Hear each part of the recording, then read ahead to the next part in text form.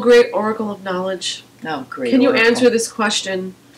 How can I learn to squirt? We've just done Dr. Oz, the G spot. Did you believe that misinformation? Except it's old information. But I mean, some of it's there. Dated, and mi- that's misinformation. Oh, and Well, he said the G spot was the key to female sexual pleasure. The key. The key Okay. is the clitoris. C L I T O R I S. Clitoris. Not C spot, clitoris. And the G spot is part of the clitoral body. System, yes. The whole thing there all together. Drink a, a, a liter of Evian and let They all do that on the porn sets. Yes, they do. chug Oh, water. water, water, water. In fact, Fill up your bladder. Fill, okay, let's see. Are you gonna? Should we squirt? We're gonna squirt. They think we're joking. Well, I am. well, you know what? Not all women ejaculate. Not all women squirt. Squirting means it comes out and like sprays across the room. Not all women do that because I ejaculate, but I don't squirt.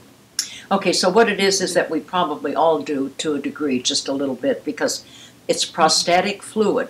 What is prostatic fluid? It's alkaline, and what it does is it protects the little spermies as they flutter their way towards the egg. Now, that's what the male prostate is about.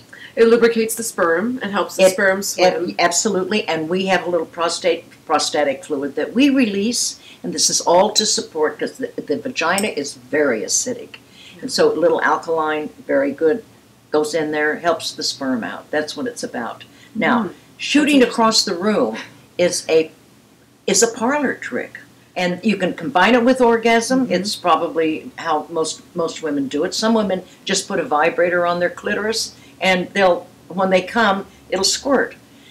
Or Whenever I watch porn videos, they're always using the Hitachi when they're in a squirting. Yes, thing. they're yes. always using Yeah, the Hitachi. put that Hitachi on your clitoris, and uh, away you go. and when you and when you feel the, the whole feeling of orgasm coming on, at the moment of the orgasm, you push out with your muscles, like like you're going to have a baby. you're giving birth to an orgasm.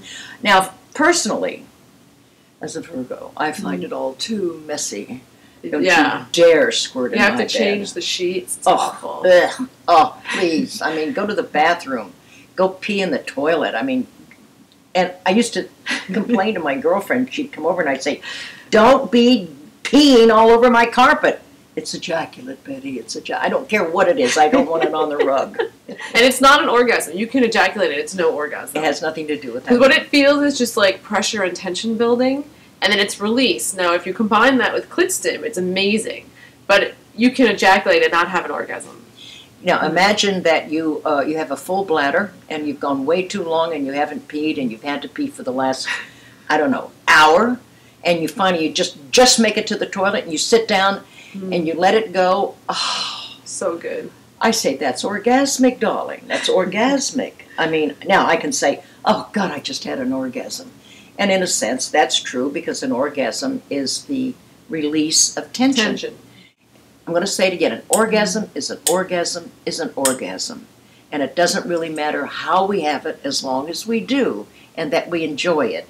And there's nothing wrong with having a parlor trick where you learn to bear down and shoot across the room. I used to do it in the bathtub with douche. I'd fill up my vaginal cavity with water. I did it for the workshop. Check it out, guys. My ejaculate goes further than yours. I can shoot farther than you. No, you can't. yes, I can. No, you can't.